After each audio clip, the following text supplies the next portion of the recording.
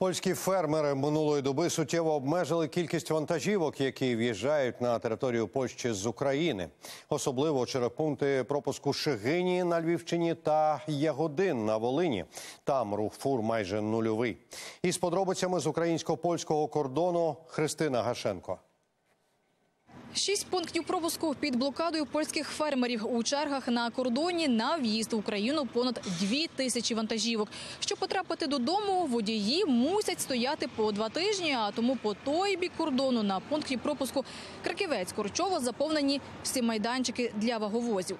Українським водіям, зрештою, увірвався терпець, і вони влаштували польським страйкарям бойкот. Вони кричали, е, випускаємо ДР, а е, ті самі атенти будуть стояти. А по ітогу ми вже б не перекрили, не випускали АДР, і АДР з, нами е, согласували, що теж їхати не будуть. Тоді вони вже почали випускати атенти. А так би, може, ще б стояло, б, неізвісно скільки. Жити у вантажівках на кордоні два тижні непросто, розповідають кермувальники. Закінчується пальне, їжа. З економічної точки зору такі поїздки за кордон узагалі не на руку водіям. Харчування ніякого не підвозять, ніц не ну, ні, нічого нема. Все, хочеш щось купити, бідренка за 6 кілометрів ножками, або відчіпляєш машину, їдеш. Ну, ніхто того не компенсує, ні нічого. Пальне.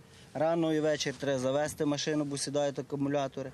Цей пункт пропуску Краківець Корчова єдиний на Львівщині, де польські протестувальники зараз не заважають машинам в'їжджати до Європи. А тому тут чимало охочих перетнути кордон.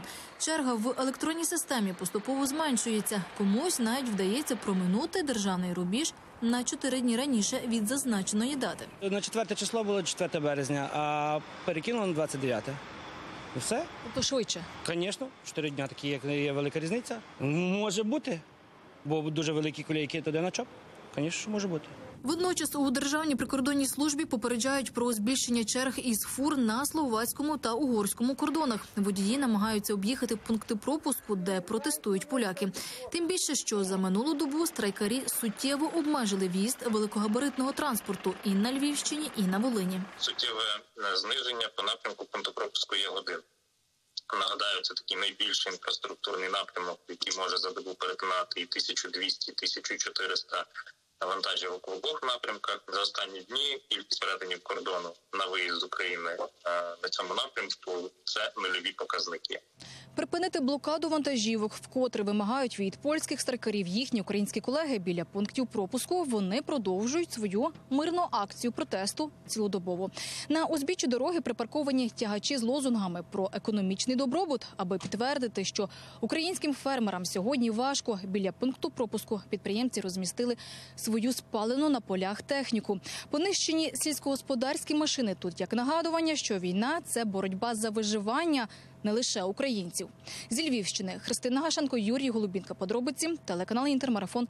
Єдині новини.